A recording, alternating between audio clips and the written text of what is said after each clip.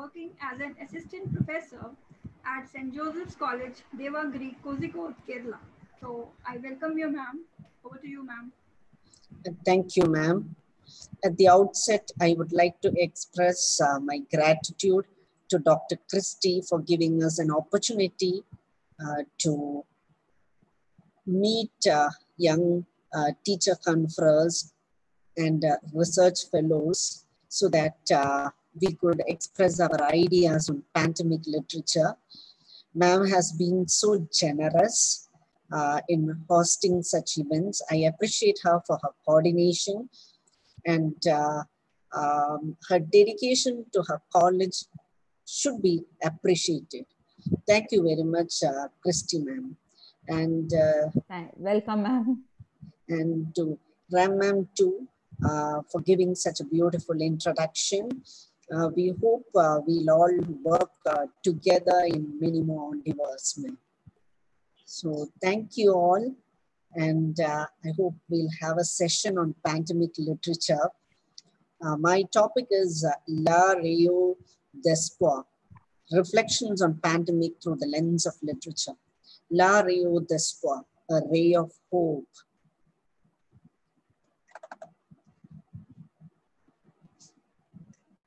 I'd like to start my uh, PPT presentation. So La Rio d'Espoir in French means a ray of hope. Uh, we are going through a very unprecedented time and uh, I do not know how the historians will describe our age. Maybe they'll describe our age as age of uncertainty and chaos. And uh, those who are living in the period of 2020 are hopeful that we shall soon overcome this crisis. Amidst the chaos, amidst this confusion, amidst the uncertainty and restlessness which we are going through, warm wishes to all the viewers from the Department of English, St. Joseph College, Devagiri. Welcome to this session.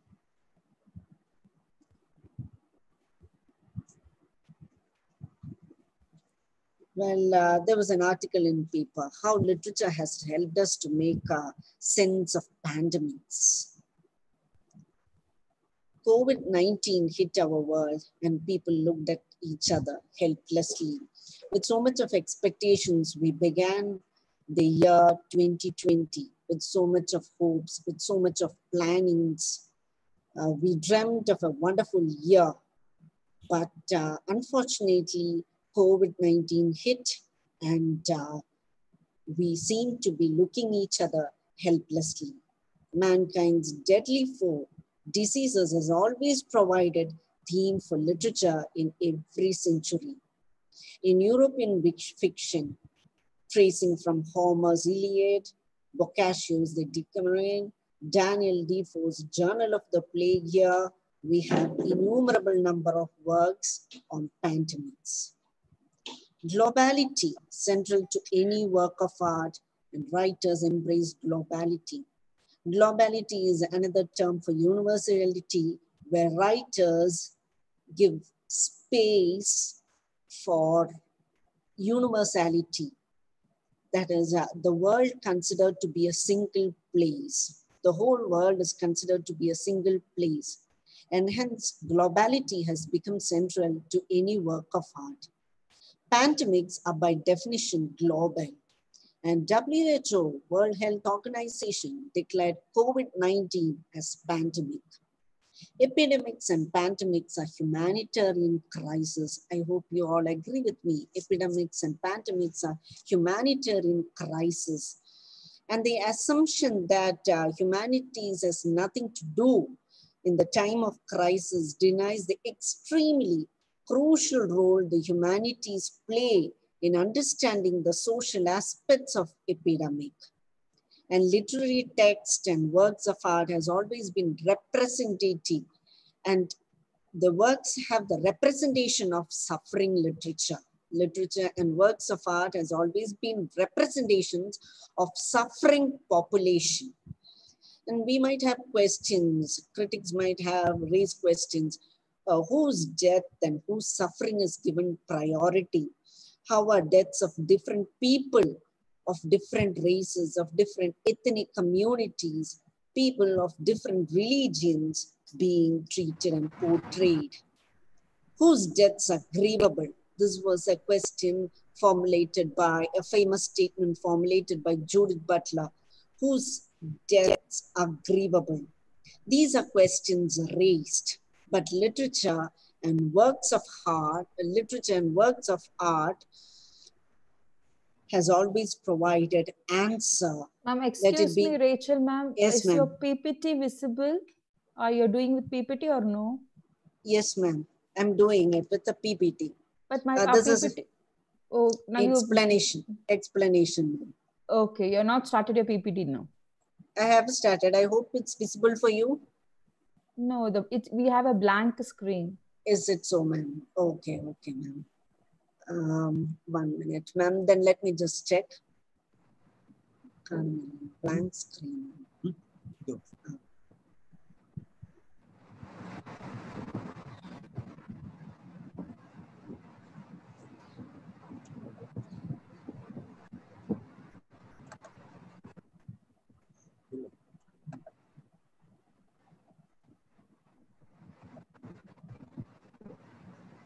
What about now, ma'am? Ma'am, It's now it's visible, ma'am. it's It's visible. okay. Okay.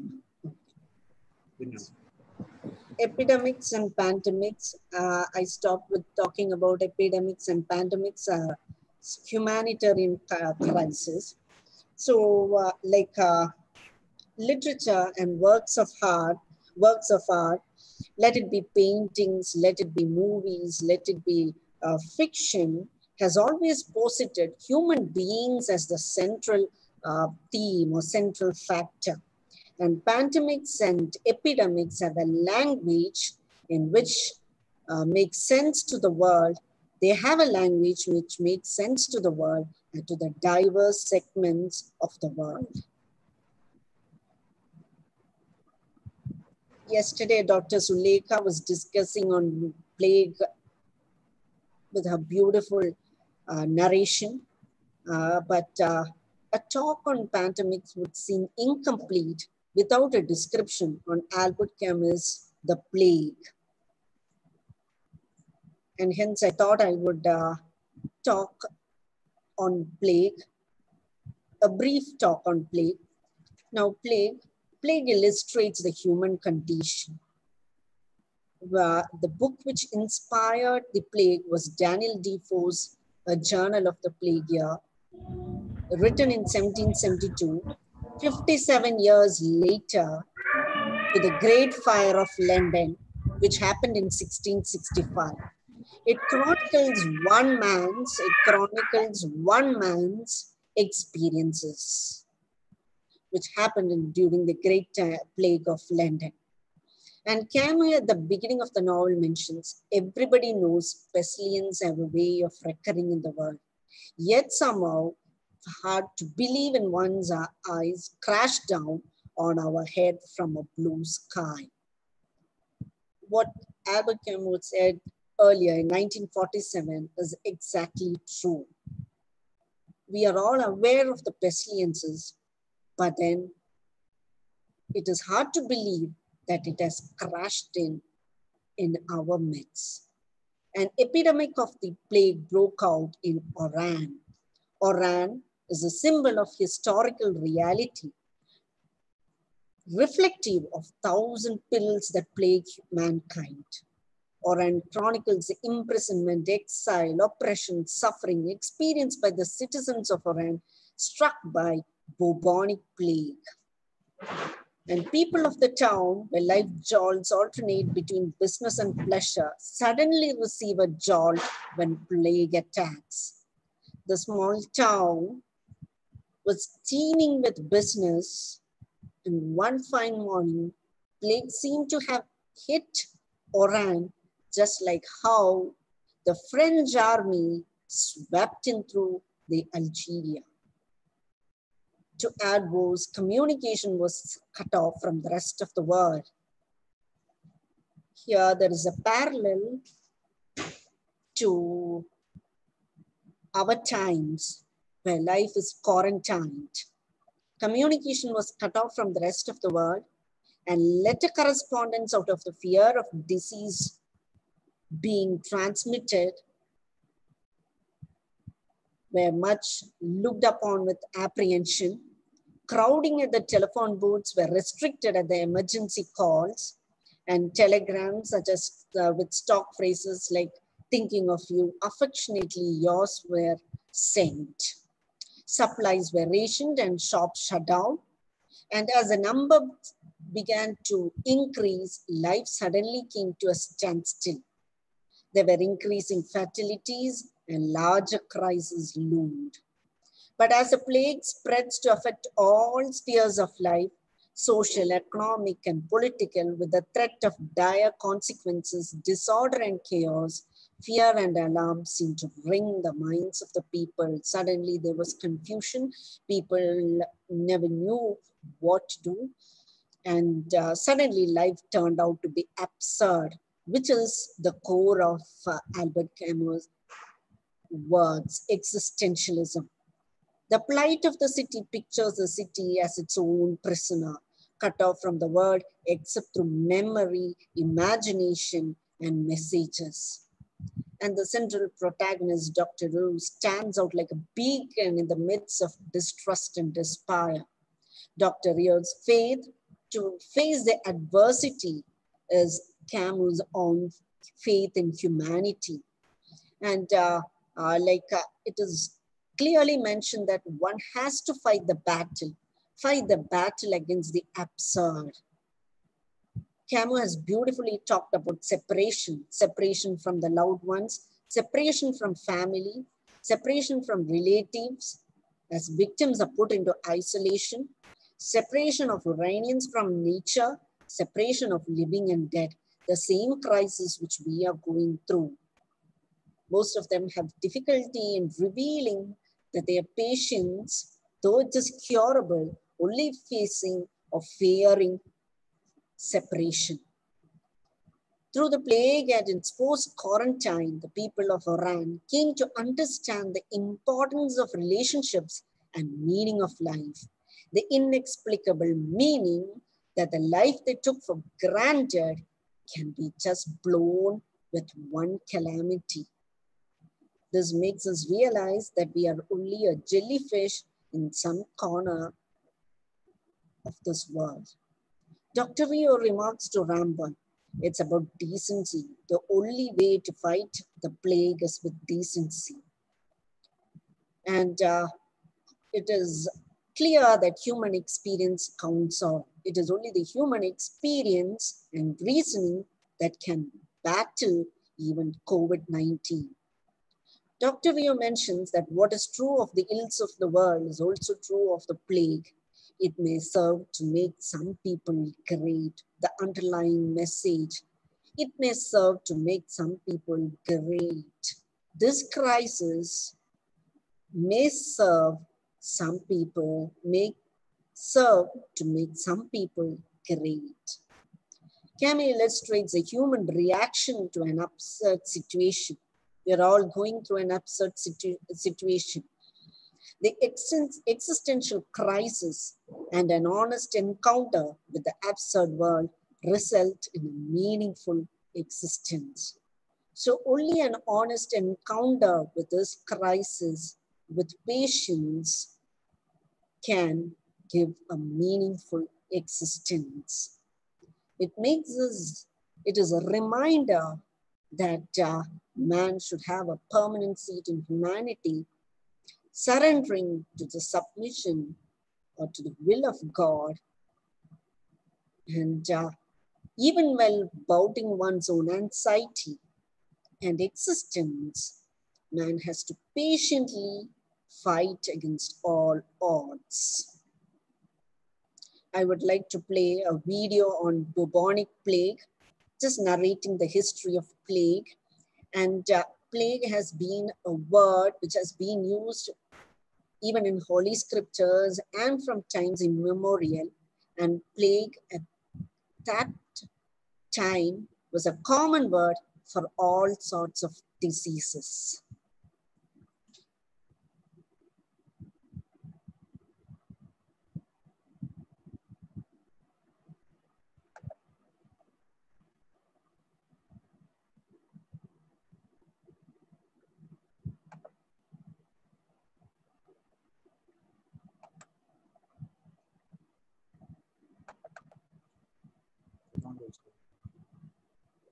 Plague is notorious for causing mass sickness and devastation. I hope you can hear. Uh, I hope you can hear and see it, Christy, ma'am. We are not able to see. We are able to hear. Yeah. Okay. Okay, ma'am.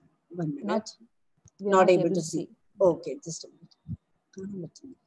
Okay. Come.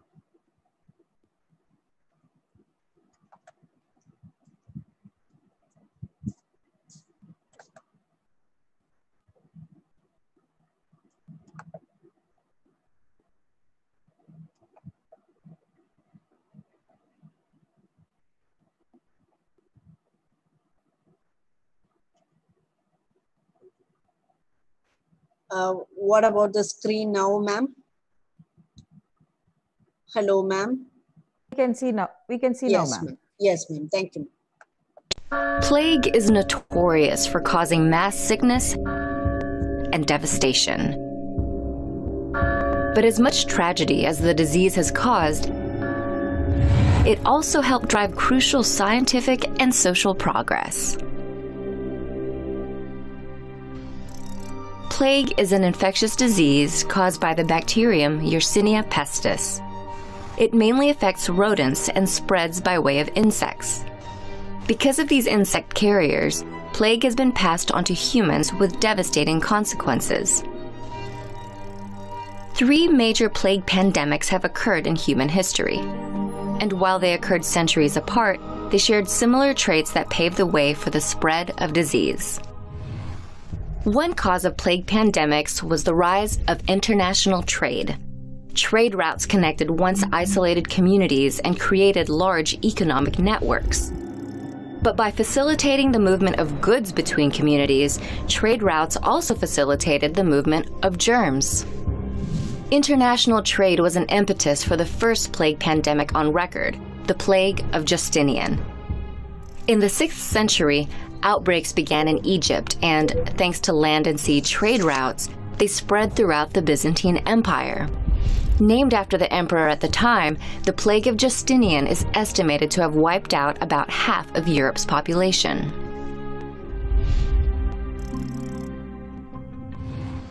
Growing economies also made way for urbanization and a rising urban population. This resulted in crowded neighborhoods and the accumulation of waste, which created unsanitary living conditions. Cities and their residents essentially became incubators for germs and diseases. This was particularly evident in the second and most infamous plague pandemic. In the 14th century, Europe was experiencing an economic and population boom, especially in cities. Proper waste management did not exist at the time, making cities vulnerable to disease. After trade routes brought plague from Asia, where it killed millions in China and the Middle East, the disease wiped out about a third of Europe's population, earning itself the moniker the Black Death.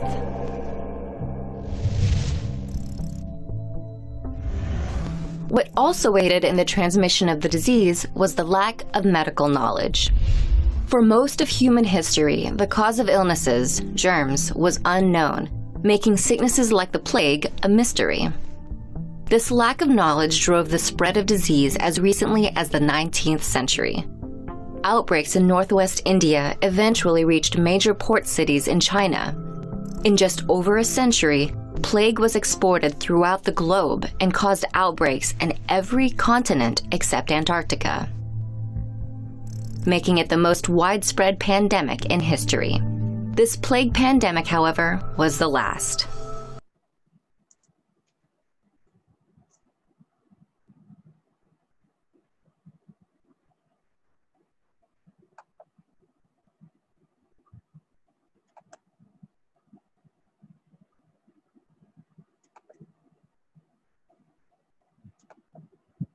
Ma'am, I hope you can see the slide now. Christine? Yes, yes, yes, ma'am. Yes, ma'am. Okay, ma'am. Thank you, ma'am.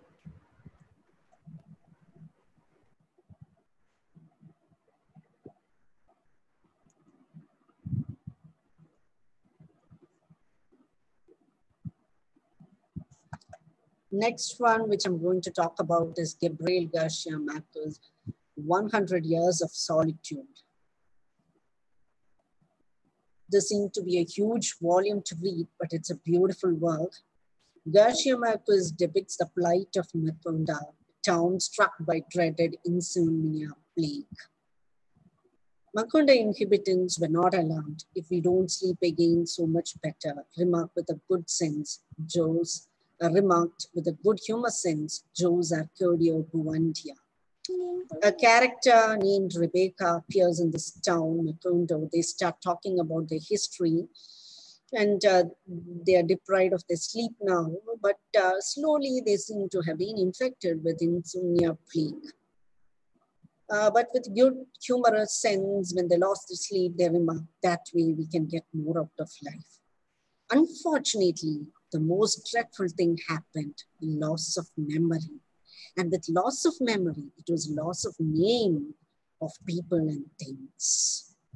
That was the most devastating part, loss of name and loss of names of things.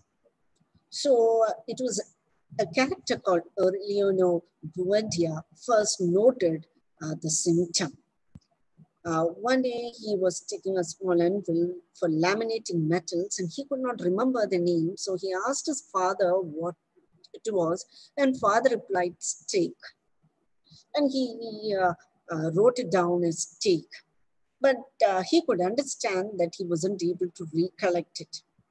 And he realized that it would become rampant. So uh, as he had noted it, uh, he thought it would be advisable or better uh, to uh, place a placard uh, for everything of the village, in the village. And so with an brush, he marked everything by its name, table, chair, clock, wall, bedpan, cow, goat, pig, hen, banana. And uh, he was quite clear that uh, without the inscription, people would not remember the names as well. His reasoning worked out. He knew that no one would remember their use.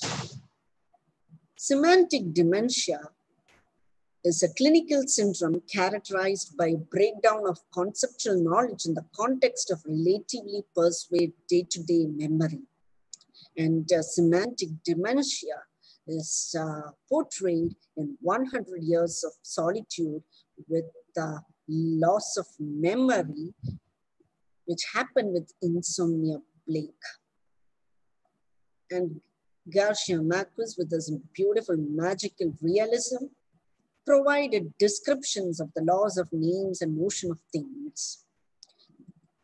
Aureliano Buendia was sure that he would uh, he and the inhabitants of Macondo would forget the name as well as use of things. So what they did was they started having a placard on the neck of the cow. For example, cow on the neck of the cow.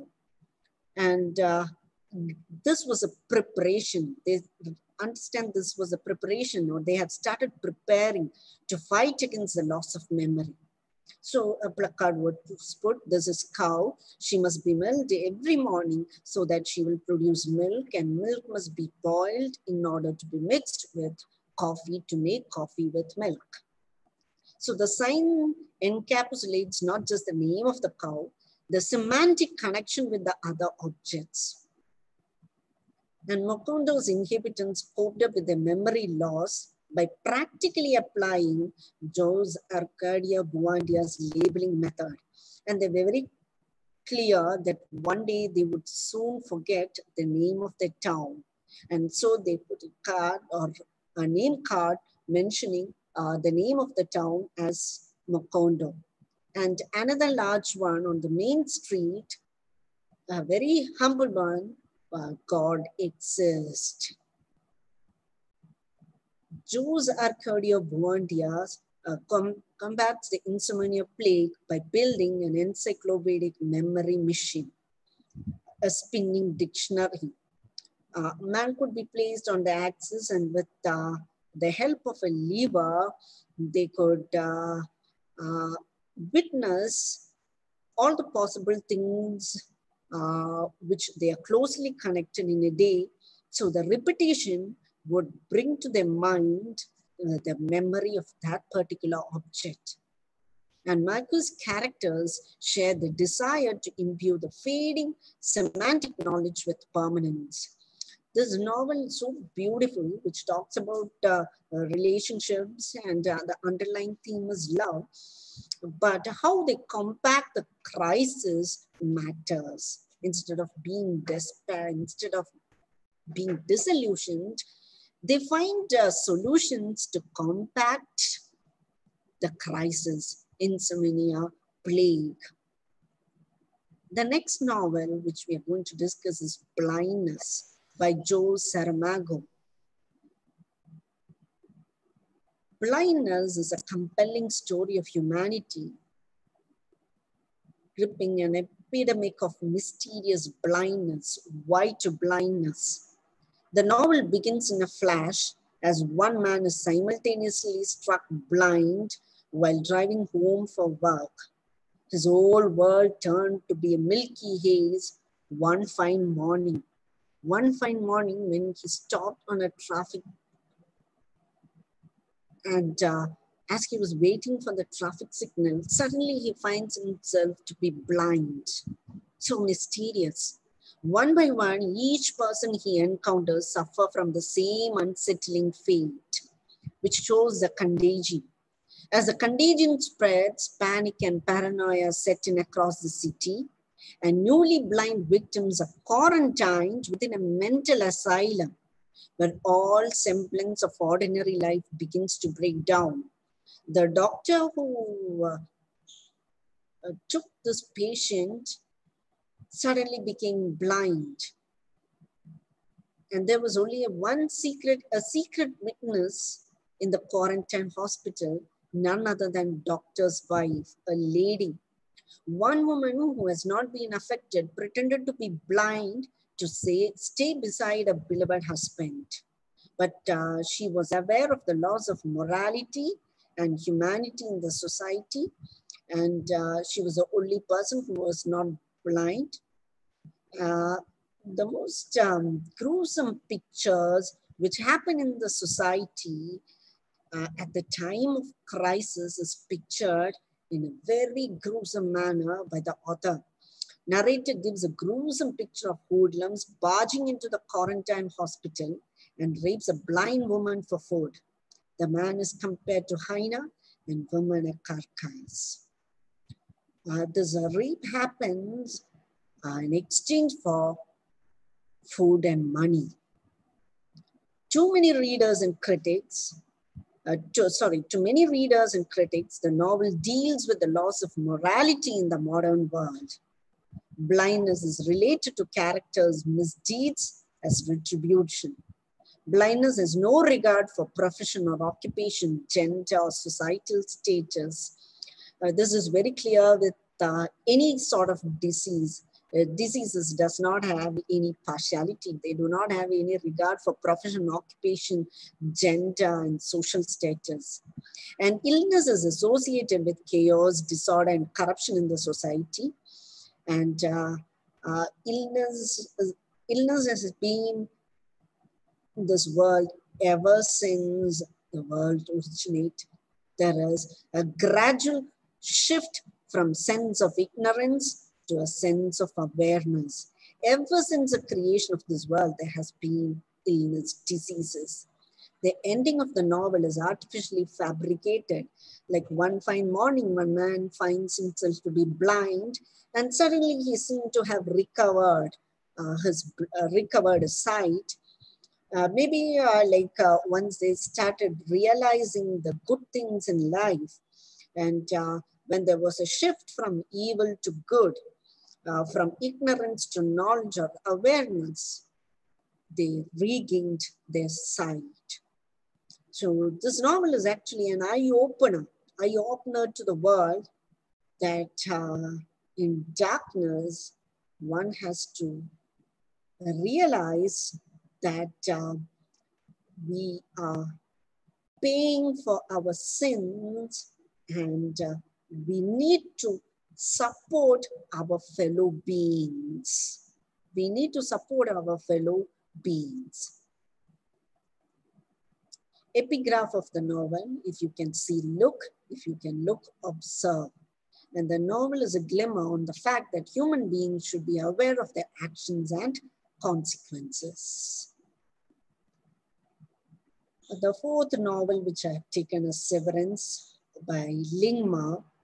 This novel was published in 2018, uh, but received uh, huge attention during this COVID-19 lockdown season.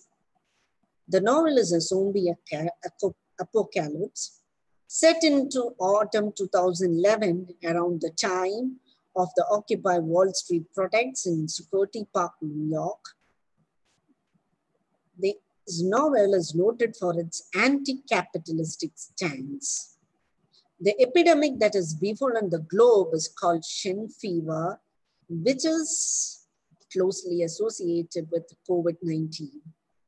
Uh, Shen fever, believed to have originated in Shenzhen, electronic city in China.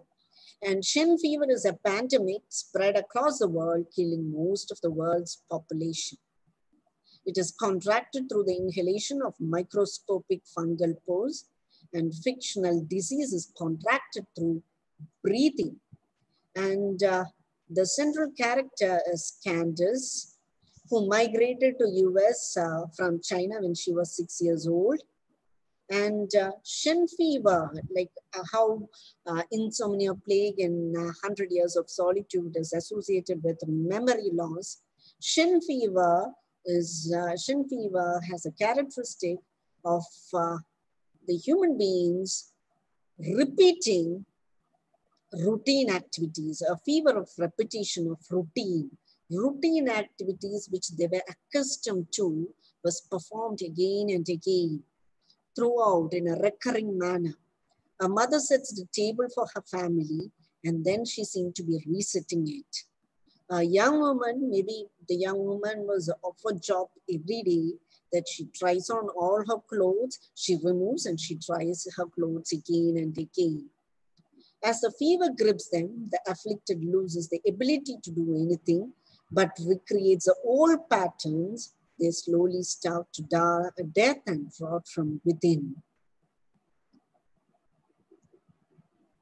And uh, this character Candace seemed to be struggling for work in spite of quarantine, in spite of the difficult times, in spite of the troubled times, the fear of uh, losing the job was so vivid that uh, she relentlessly went for work, not caring for her health. I would like to play a video on zombie apocalypse.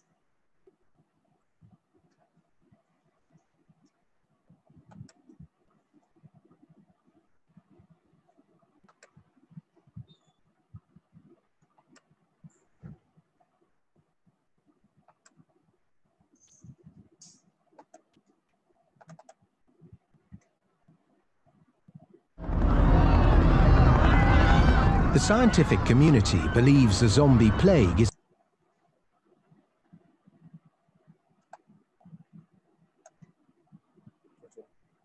Ma'am, The are you able to hear and see? No, we are not able to see the video, ma'am. Okay. Ma'am, you copy those videos on the desktop and then play, ma'am. Okay.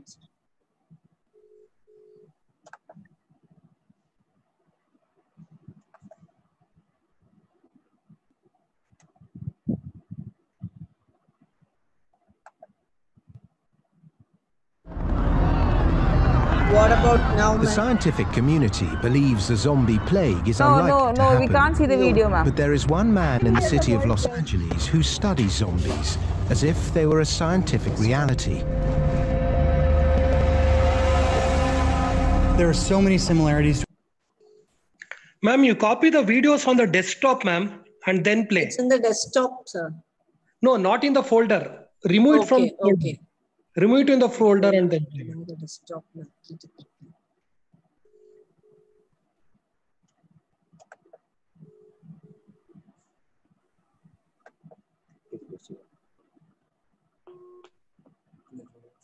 Uh, now it's visible.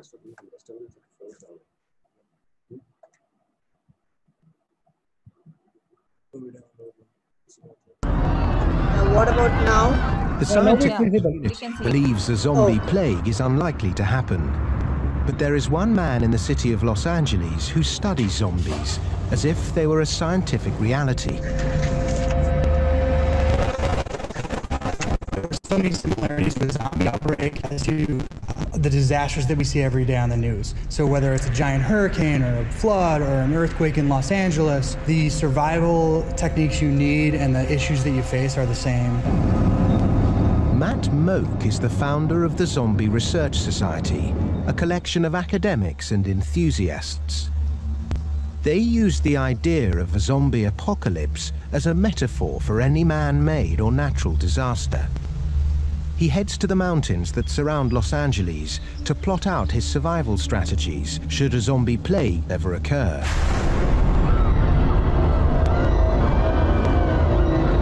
As you can see, Los Angeles proper is down below us. In a zombie outbreak, services would go down, traffic would be a complete gridlock, and no one down there, the million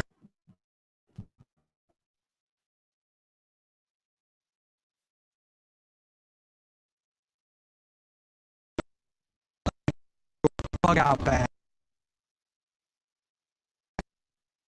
Food, bar bars, nutrition, lot nutrition, first aid kit. I like to have uh, a pair of binoculars, go and see what's going. on. You need a bug out bag for your car. You need one for your home. If the zombie pla- plague hits when you're at work, you may not be able to get home. You may not be able to get to your car, and you need to be for at least 72 hours and worry about your own safety. There's no way that you can mount a successful basics first.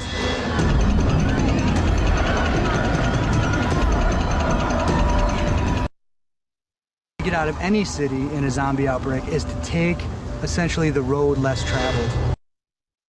Walmart is a good idea to get all your stash. Think. Want to do the same thing? And if that's the case, do not do it.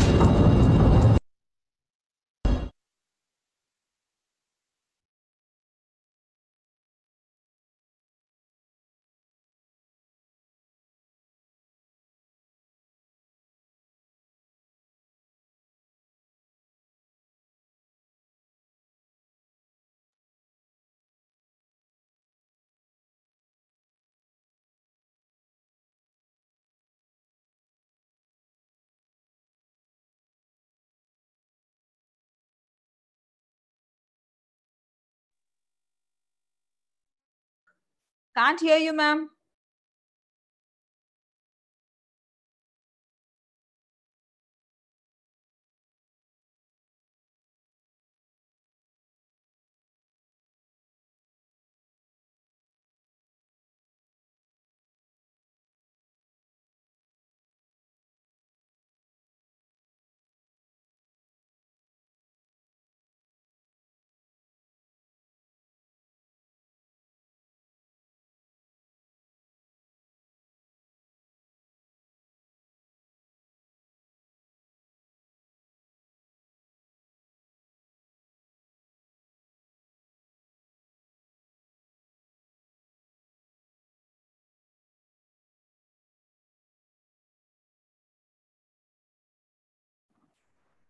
I hope I'm audible now.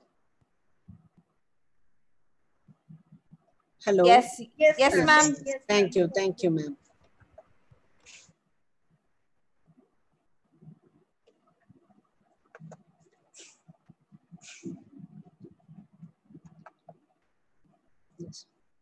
Myths are uncanny phenomena. They are at once regional and yet universal static and dynamic, stable and yet protean, archaic and yet contemporary, remarked Joseph Durand. Well, the reason why I thought I'd touch upon myth is though myth starts from primitive religion, uh, it can never be separated from literature. Great literature has always derived source from myths. And hence, uh, myths play a vital role in shaping literature. And both myth and literature are inseparable. And uh, in great myths too, we have found diseases and illness being rampant.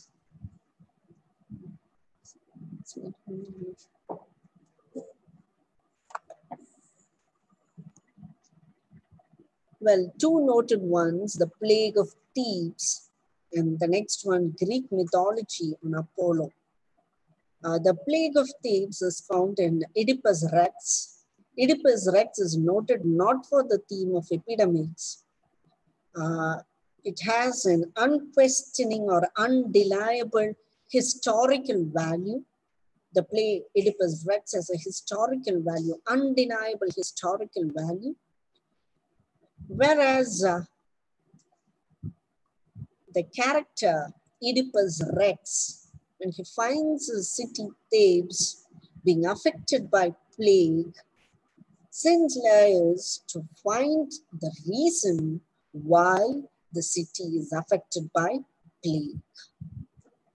And there is reference to Greek uh, god Apollo, who is known to be the protector of plague as well as the god of plague, protector as well as the sent provider, provider as well as the protector. Uh, was, uh, when Agamemnon was the king of Argos, uh, he uh, captures or seizes Chryses, who's Apollo's priest's daughter. And Apollo's priest requests Apollo to save his daughter. Agamemnon wouldn't let Chryses move. Apollo gets so angry and furious with Agamemnon that he sends nine arrows down to the earth on Greek people and they have nine days plague. And it is only after Agamemnon surrendering to Apollo and only when Chryses is leave, relieved that the place is saved or spared from plague. And then there is reference to quest myth of the vanished grail, the myth of the wounded fisher king, which finds a note in uh, Miss Jessie L. Weston's From Ritual to Romance. Uh, and uh, there is a beautiful description on the origin of the grail, the vanished grail and lance. The vanished grail is connected with the Last Supper which Christ had and lands uh, that of crucifixion. Uh, and uh, a knight has to go through ordeals to save his land. Knight has to go through a series of land. The land is blighted by a curse. And it is only when uh, the light uh, go through the ordeals and comes upon the vanished grail and lands and when he asks the right question that uh, the land would be spared. Uh, let it be myths, let it be source of literature. It offers a view that uh, the land is always spared, which is a ray of hope. And to end, I would like to quote from T.S. Eliot's The Wasteland, the last lines from T.S. Eliot's The Wasteland. I sat upon the shore fishing with arid plains behind me. Shall I at least uh, send my land in order? London bridges falling down. Poisacos nel focoshi gliafina. Conda fiamuti shelidiano swallow swallow. La prince di aquitina la tua poli. These fragments have showed against my ruins. Why then lie fit you? Hieronymus Madiki, Datta Dayadhvam Damyata, Shanti, Shanti, Shanti. T.S. Eliot was frustrated, or his poem was a reflection on disintegration of Europe after World War. He was so disillusioned with the disintegration of Europe, moral as well as spiritual degradation, that uh, he felt that uh, if not much, at least he could say, if not all the lands, at least some corner could be set in order. And he mentions Datta Dayadhvam Damyata.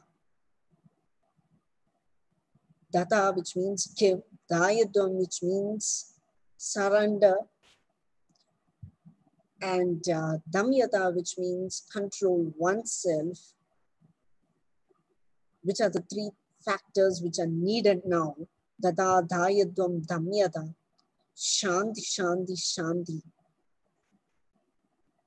T.S. Eliot was hoping for peace and with peace, recovery. Let us also hope that our land would recover, our world would recover, and there will be peace. Peace that shall passeth understanding.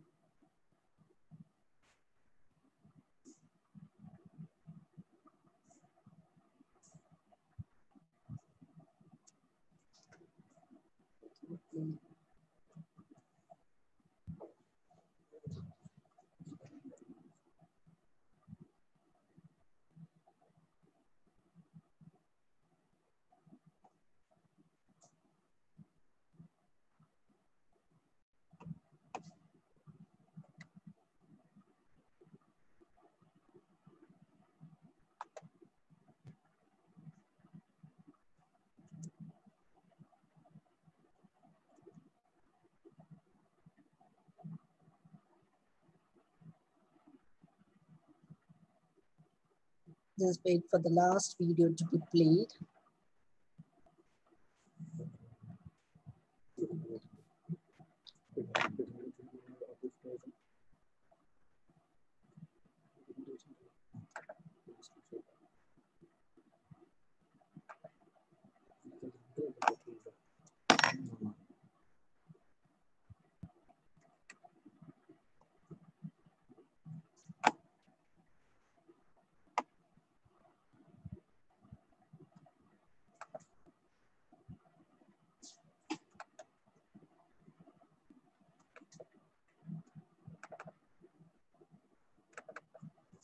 No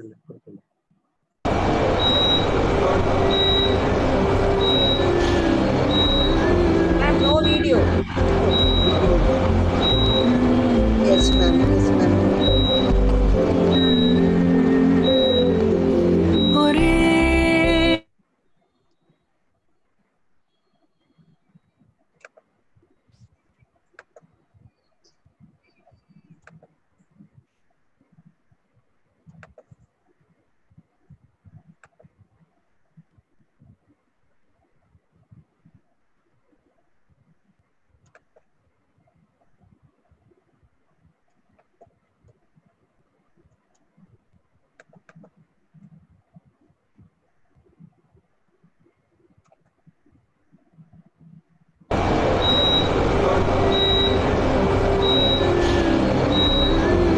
Are you able to see, ma'am? Ma'am, still no video. No video.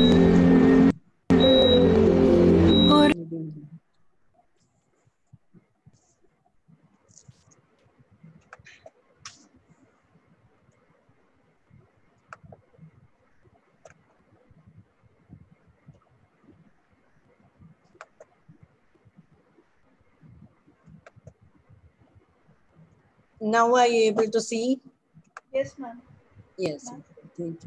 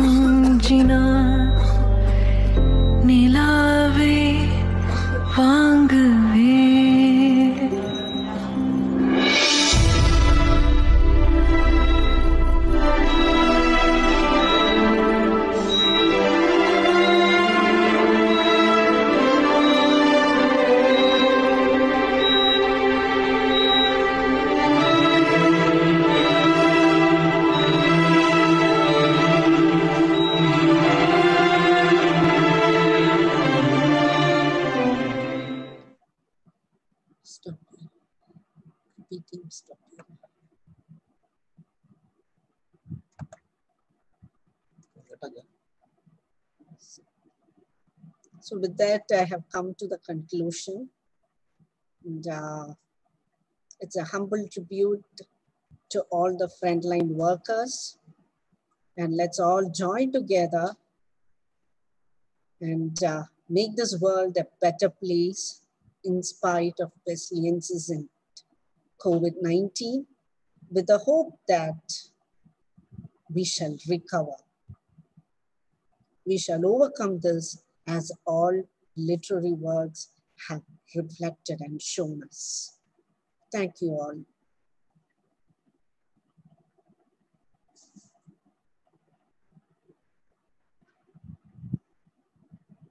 Hello, ma'am.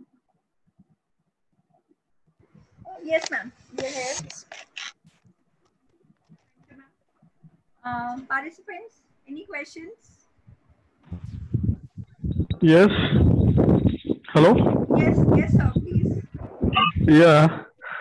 I want to ask a question. Yes, sir. Yes, sir. Uh, you had uh, given the reference of Oedipus Rex, Phoebus. At that time, uh, there was uh, attitude man has committed many sins. So the pandemic, like plague, is the punishment of God. That was that was the common belief. Do you think today this attitude has changed, or what do you what is your opinion about this? Uh, then and now, man seem to be committing sins. And I wouldn't say that uh, this pandemic is a punishment from God, but as we say that uh, it is an, uh, uh, a period where uh, a period which God has given us to re-examine or retrospect and uh, to open ourselves for a better living. Just like how our grandparents say, like I, my grandmother, uh, who used to pray uh, relentlessly, and then when it came to next generation, number of hours reduced, and when my generation came, the number of hours even more reduced. So, like uh, we hear the old generation of people saying that uh, uh, this is God sent, uh, but uh, we have never witnessed God punishing. It is rather uh, giving us a period for ourselves to see and to examine ourselves for a better living. And we will soon overcome this situation. And in Oedipus' case, it was a retribution for her sins. Uh, even in uh, the Greek mythology, which I was talking about, Agamemnon, it was for the uh, punishment. It, it was uh, Apollo was punishing Agamemnon. So uh, this is actually a period for retrospection, for examining ourselves. Yeah, thank you. Then, uh, what do you think that uh, what kind of literature will uh, born on this pandemic? Uh, pardon, sir. So, what do you think uh, that what kind of literature will be uh, uh, will will born uh, based on this pandemic? Built on the pandemic. Today's pandemic, what kind of Yes.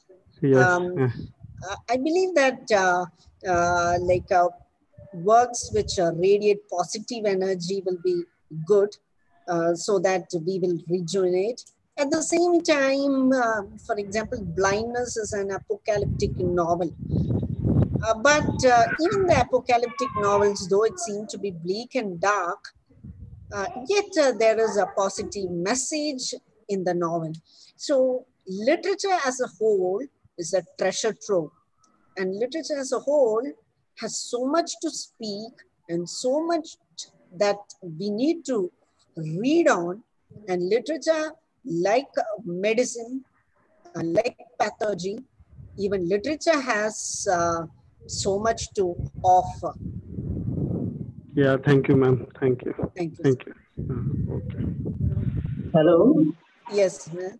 Hello, I have a question, ma'am. Can you listen to me? Yes, I can hear you. Yeah. So uh, the text you have discussed uh, in your lecture. So uh, which lessons we can draw from these texts uh, to face pandemic situation at present we are facing and in future we will face? Pardon, pardon, sir. Hello, uh, I I want to ask you know what are the situations you know what are the lessons we can draw from these texts you discussed in your lecture uh, to Yes. face pandemic situation at present and in future as well. Yes. So can we Uh, have, can we draw some lessons from these texts? Yeah. Sure. When it came to the novel play, which I referred, it was Dr. Rieux who was uh, the beacon of humanity. Uh, like uh, the whole town seemed to be in despair, but uh, they rose to the occasion. So uh, the collective spirit, the collective spirit is needed. Maybe starting from an individual, but collective spirit needed. Second one, uh, when it came to uh, 100 years of solitude, uh, it was human reasoning, human intelligence, uh, like a loss of memory. That was actually a hope against hope, uh, like a loss of memory. But even when there was a loss of memory, they defeated it with intelligence, with a sense. When the sense was failing, they overcome it, overcame it with another sense, with intelligence, with a faculty. Then when it came to blindness, uh, the characters, no names are given. The setting is unknown. and there is no name for the city. Uh, just like one fine morning, blindness seemed to be rampant, and one fine morning it seemed to disappear. But it, uh, there is a great scene which actually pulls the uh, uh, readers into it, uh, a gruesome rape scene, which actually shows how corrupt our society is, even in troubled times. So that actually is a point where one has to note that even in crisis, man seems to be committing sins, but uh, uh, it's an opportunity to analyze ourselves and overcome our illness, which is typically in our mind. And then when it come came to severance, uh, like uh, uh, the city was affected by Shen fever, uh, Shen fever, and uh, the character uh, Candace, even when she knew that New York City was going to be destroyed, she went around the city to capture photographs and uh, uh, so that uh, she could display it to others, she could uh, uh, transmit it to others, and they'll have the feeling of home. When uh, New York City is not actually her hometown. So it is actually rendering support to another person. So basically, it is uh, basically literature actually opens the eyes of the readers, and every work, every line has something to offer during this pandemic season. Okay. Thank you, ma'am. Thank you so much. Thank Nicely. you. Thank you. Excuse me, ma'am. Hello. Yes, sir. yes, sir. Ma'am, can you hear me? Yes, I can hear you. Yes, I have a doubt regarding what you have just said earlier. Okay. how would you like to define the term illness in a in a post-modern society where where according to Deleuzian concept, everything is taken to be a possibility. Yes. In this scenario, how would you like to define the term illness? illness, uh, in my uh, opinion, illness is uh, what human beings think. Uh, like as told, illness or diseases has always been inherent in our society. Illness has been rampant in our society ever since uh, ever since the creation of this world or from times immemorial. Physical illness as well as spiritual illness. And uh, right now, at this age, illness is uh, any negative things that come to our mind. Any negative thought, let it be a negative thought, let it be a negative conversation, let it be a negative energy. I feel it is illness, illness in the society. making others also ill. Okay, ma'am. Thank you. Thank you. Sir. Ma'am, another question is from Dr. G. Shiva Su- uh, Subramaniam. Okay. And uh, his question is whether the literature discussed accidental or incidental in nature. Uh, whether literature, Discussed accidental or incidental in nature. uh, not accidental or incidental, literature is creative.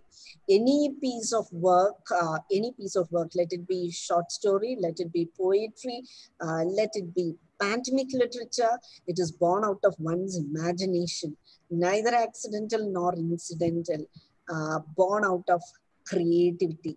And uh, these days, you don't need even creativity when you uh, read and when you have a peace of mind, uh, immediately thoughts occur in mind. And any thoughts that happen or any thoughts that occur is literary piece.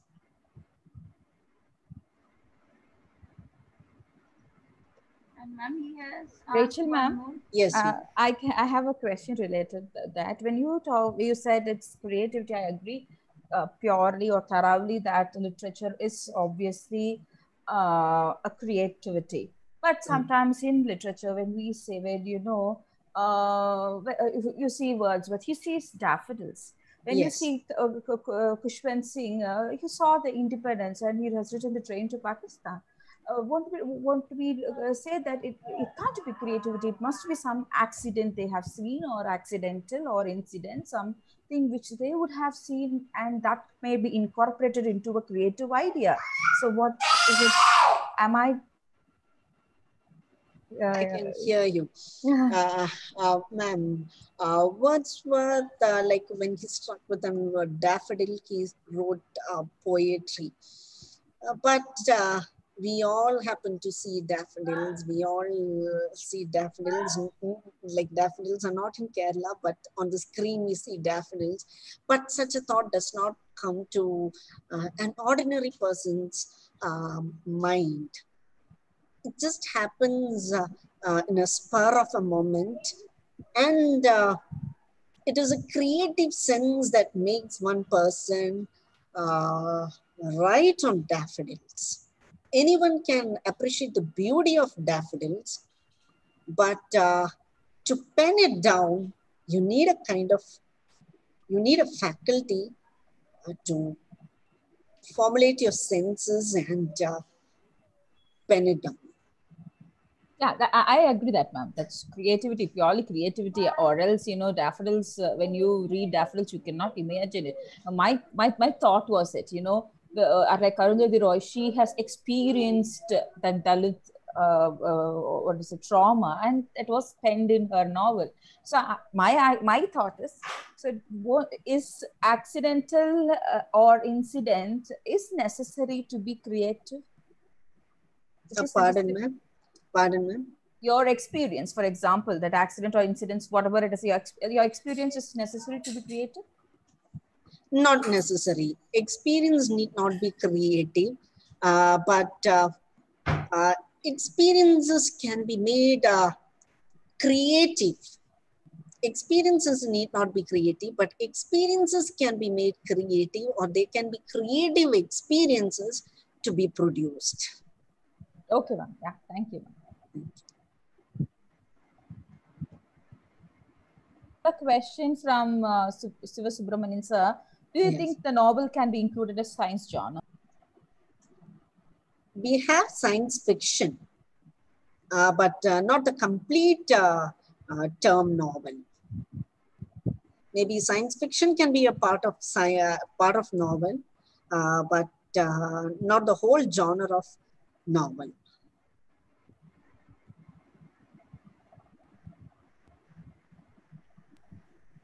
Any more questions? Ma'am, one question is from Priyanka Matthew. Okay. Uh, what is this spiritual illness that you just mentioned? Spiritual illness is uh, selfishness, uh, disintegration, lack of love, which leads to lack of humanity, and uh, lack of humanitarian concern. Uh, lack of humanity and lack of humanitarian concern is what our society is lacking now.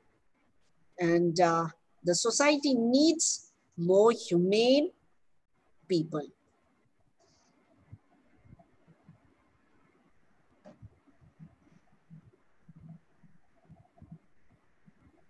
Any more questions?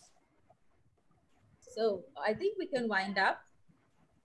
Uh, thank you, Rachel, ma'am. That was an experience, or you know, you have worked a lot that we can see. You have uh, given a lot of matters in what you know passionately you have prepared this um, uh, for this conference. Thank you so much. I as I already said, you've been the seed of this conference. You know, you've been the inspiration for me to conduct this conference. Thank you, thank you so much, Rachel, ma'am. You know, and thank you for the concern that you had on me when I was ill and when my son was ill. You know, you used to be very, very supportive spiritually, also. I would say. Thank you so much, Rachel, ma'am. Uh, very nice to have you with us, and um, I hope you know we would be doing a lot of things together. Uh, the conference is not only meeting intellectual people. You know, you get spiritual friends as well, and one such friend is you. Thank you, thank you so much, Rachel, ma'am. Thank you so Thank much. Thank you, ma'am. Thank you, ma'am. Here I have to mention that uh, meeting you was uh, both accidental and incidental. Incident. Talk to you for a creative purpose. Let us Exactly. conclude that for a creative purpose. Exactly. And uh, Exactly. thank you, Christy, ma'am, for hosting a seven-day virtual conference when you all had already done uh, so many uh, uh, FDPs and conferences. I appreciate your dedication and uh, like uh, meticulously you do so many works which really needs a round applause. Uh, thank you very much. Thank you, thank you so much, ma'am. Uh, Fatima, you have to say anything? Uh, no, but I just want to thank ma'am. It was a wonderful presentation, and I can uh, read the uh, compliments of the participants too. thank you, ma'am. Yes. Thank uh, you, ma'am. That was fabulous. Uh, you had uh, good uh, feedbacks today, wonderful feedbacks. Uh, we would be sharing the feedbacks with you also. Thank you so much, ma'am. Thank you. Thank you. I'll I'll call you in the evening, ma'am. Thank you so Sure. much. Thank you. ma'am. Bye, ma'am. Thank you. Bye.